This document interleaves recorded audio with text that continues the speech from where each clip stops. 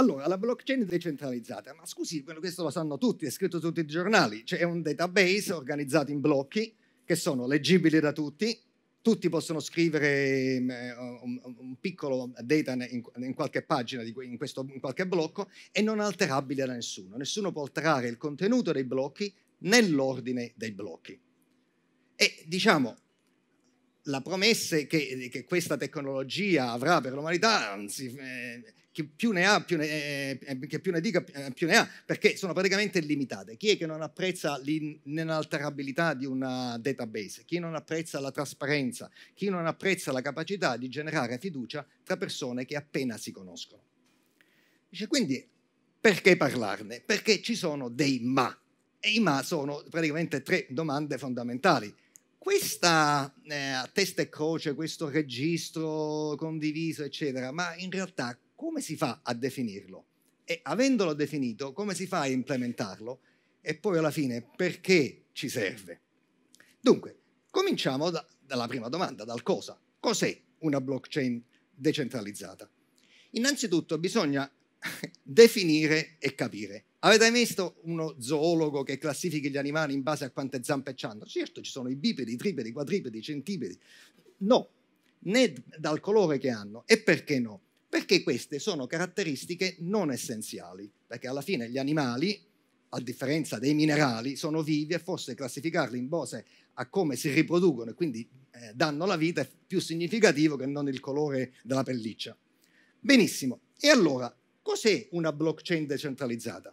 Spesso i regolatori e altri dicono, beh, si misura dal numero di utenti, più utenti c'hai, più sei decentralizzato. Beh, io se fossi un imperatore con milioni di sudditi, sono forse meno decentralizzato? No. Oppure dai, del numero di nodi? No. E perché no? Per lo stesso motivo di prima, queste non sono caratteristiche essenziali. Allora, cos'è che è essenziale? Essenziale nella blockchain è scegliere il prossimo blocco. Perché? I blocchi consistono di tutte le transazioni che sono avvenute. Se non stanno in blockchain non sono mai avvenute. E se fossi io a scegliere il prossimo blocco, dico queste transazioni verranno scritte nel mondo e queste altre non mi piacciono, le voglio scrivere, avrei un potere più assoluto di quello di Luigi XIV. Quindi forse il monarca assoluto per eccellenza. Quindi cominciamo a, a concentrarsi sul fatto che è la partecipazione alla generazione dei blocchi che rende decentralizzata una blockchain. Qualunque cosa avete visto e sentito, da ora in poi vi esorto a, a seguire questa pista. Benissimo, avendo già una dritta su quella che è una, una blockchain decentralizzata, e come si fa a farla? Diciamo che non è facilissimo perché la blockchain è, è, un prodotto squisitamente tecnologico e quindi senza tecnologia non si va poi da nessuna parte, almeno in blockchain. E perché è difficile? Perché fino a pochi mesi fa vigeva il famoso trilemma che diceva che se volete una blockchain dovete scegliere al più due di queste tre proprietà, la decentralizzazione, la sicurezza e la scalabilità. Immaginiamoci che disastro se questo fosse vero, perché io sono blockchain by design, voi siete un cliente, dice benvenuto a blockchain by design, dice volete una blockchain? Certo, ve ne do una proprio per voi insicura. Dice no, veramente me ne servirebbe una sicura. Allora ve ne do una non scalabile, che no, mica mi serve per, per giocare con parenti e amici, io voglio una cosa scalabile. E alla fin fine, chi sacrifichiamo? Bingo, la decentralizzazione. E infatti, fortunatamente è stato così, ma teor- questo trilemma è falso.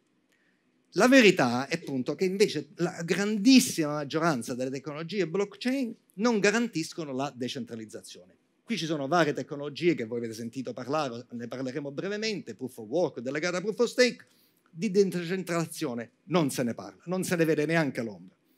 Allora, vediamo perché. Proof of work.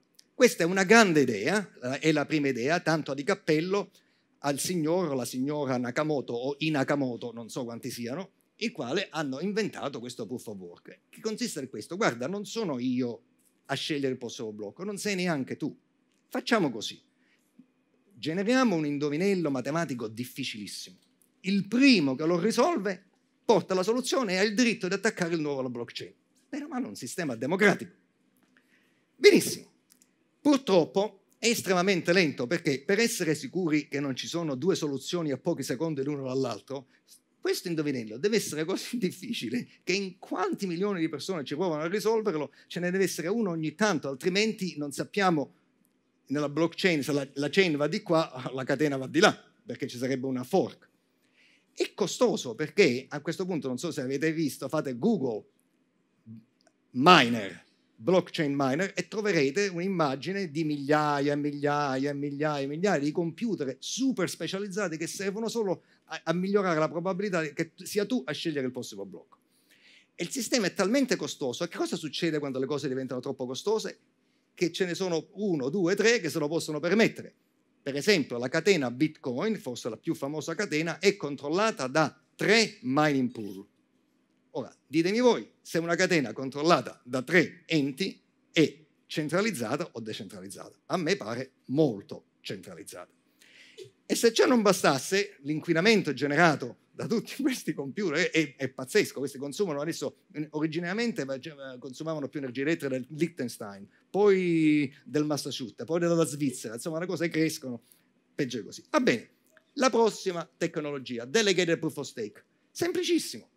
Infatti, voglio dire, quasi banale, scegliamo, vedete quelle 22, 21 persone lì, non sono oneste? Sì che lo sembrano e io credo anche che continueranno a essere oneste. Per cui diamo loro il mandato di scegliere il prossimo blocco per tutti noi. Grazie e arrivederci. Allora, diciamo, questo è la proof of work partiva da un'idea, c'era questo indovinello che lo potevamo risolvere tutti e via e via e via, alla fin fine è, è diventata centralizzata, ma questa era centralizzata, è centralizzata e rimarrà centralizzata per sempre perché eh, non è il modo giusto di fare le cose. Non voglio uh, perdere tempo con altre, eh, altre proprietà, basti dire che tutti questi approcci partivano da una logica fasulla e la logica è questa. L'economia totale è sicura se la maggioranza di un pezzettino di questa economia è onesta. Cioè, scusa, non ho capito bene. E certo che non ho capito bene, perché non ha senso. Cioè, immaginiamo, appunto, qui c'è tutta l'economia, vedete quel pezzettino lì? Que- sono quelli che se sono onesti tutto funziona, altrimenti ce ne andiamo tutti in malora. E che sono questo pezzettino verde? Nella proof of work sono questi tre minatori, nel, nel delegated proof of stake sono i 22 membri scelti chissà come, buona fortuna. E, e diciamo, questo qui eh, non va bene. E allora cosa c'è bisogno? Non bisogna disperare. Una volta che abbiamo inquadrato il problema, io sono sempre ottimista sull'ingegno umano e poi in generale sulla tecnologia. E la tecnologia dice che dobbiamo semplicemente cambiare eh, completamente l'approccio, voltiamo pagina. Ed ecco invece questo eh, che io credo che abbia le caratteristiche che vogliamo, che è la proof of stake pura. Cosa vuol dire? Vuol dire questo, che ci sono, come voi sapete in, uh, in Bitcoin, ci sono questi tokens, i famosi tokens, ogni token ha lo stesso potere di, di, generare un blocco. E diciamo, tutti questi token, queste monete, però non stanno dove stanno? Stanno nel portafoglio, pronti a essere spesi, investite nelle varie eh, possibilità che ci dà la blockchain. E se la maggioranza delle monete in tutto il sistema è in mani oneste, il sistema è sicuro. Soffermiamoci sulla terza cosa. Cosa vuol dire? Vuol dire che non sono tre minatori che decidono se mi va, io distruggo la blockchain. Deve essere la maggioranza di quelli che posseggono le monete nel sistema, la maggioranza dell'economia, debbono decidere di coalizzarsi, coordinarsi l'uno con l'altro e spararsi sul piede per distruggere quella stessa economia di cui posseggono la maggioranza. Forse ci penseranno due volte prima di farlo.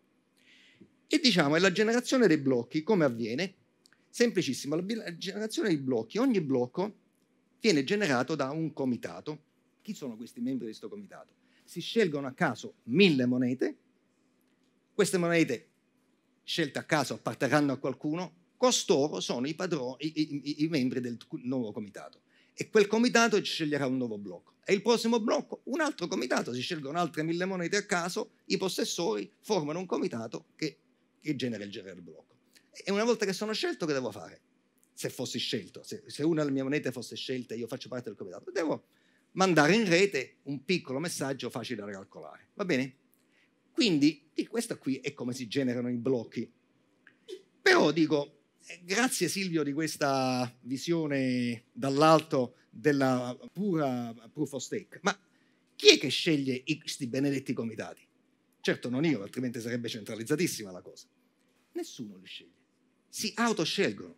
Dico, come? Si autoscelgono. Questa forse è la peggiore idea che abbia mai sentito, perché se, se io sono un disonesto, io mi posso autoscegliere, certamente che mi scelgo per essere membro di questo comitato e scegliere questo blocco. E anzi, mi autoscelgo pure per il prossimo blocco. E pensate che cosa faccio? Per induzione mi scelgo pure così, per cui sto sempre a scegliere i blocchi. Però non così semplice. Cosa vuol dire autoscegliersi? Vuol dire che avevo una bella slot machine crittografica, ok? Questa famosa leva, uno mette i soldi, mette, spinge la leva, o vince o perde. Questa slot machine, essendo crittografica, non posso barare, posso abbassare la leva una sola volta e posso vincere o perdere. Se vinco, ottengo una prova, un biglietto vincente, una prova della mia vittoria, della mia vincita e quindi cosa faccio? Matto in rete, ecco il mio biglietto vincente, essendo una prova tutti la possono verificare, ed ecco la mia opinione sul blocco. Super giù va così. Hmm. Fatemi dire perché questo è decentralizzato. Perché giustamente ogni volta c'è una lotteria diversa, voi abbassate, e vincere si perde, ogni moneta fa la sua propria lotteria, come se avesse una manina che abbassa la leva, se voi possedete più monete forse avete più possibilità di vincere di altri, però e certamente sono mille monete sparse in tutto il mondo, decentralizzato lo è, più decentralizzato di così forse non si può. Perché è scalabile? Cioè, ma quanto tempo ci vuole ad abbassare questa leva? Un microsecondo. Oh. Una volta abbassato, lo ricordatevi, mandiamo in onda il biglietto vincente e la vostra opinione sul blocco. Quindi questo è facile da fare. E adesso diciamo, perché è super sicuro? Supponiamo che io sia un personaggio tanto malevolo quanto potente. Posso corrompere istantaneamente mille persone in tutto il mondo proprio allo schioccare delle mie dita. Chi voglio corrompere? I membri del comitato. Però c'è un problema.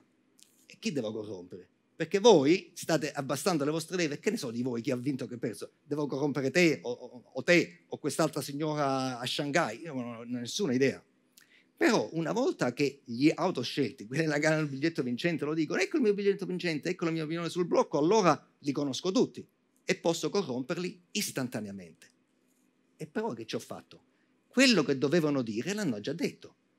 Il loro biglietto vincente, la loro opinione nel blocco si sta propagando viralmente nel network e non posso rimetterlo nella bottiglia né più né meno che il governo degli Stati Uniti o qualunque governo possa mettere nella bottiglia un messaggio di Wikileaks che pure si, si propaga viralmente. Quindi il sistema è sicuro perché inizialmente non so chi corrompere e dopo è troppo tardi per, per corromperli. Quindi questo ci dà, al di là della blockchain, è uno strumento per poter davvero progredire in modo democratico in tutto il mondo, mantenendo il mondo decentralizzato. E diciamo, come vedete, questa trilemma famoso, facendo le cose un pochettino eh, poco ortodosse, eh, si riesce a, a, ottenere quello che prima eh, eh, era considerato impossibile. Di cose impossibili nella vita ce ne sono, fortunatamente ce ne sono molto poche, perché spesso l'impossibile è soltanto è risolvibile. Ma perché la vogliamo questa blockchain decentralizzata?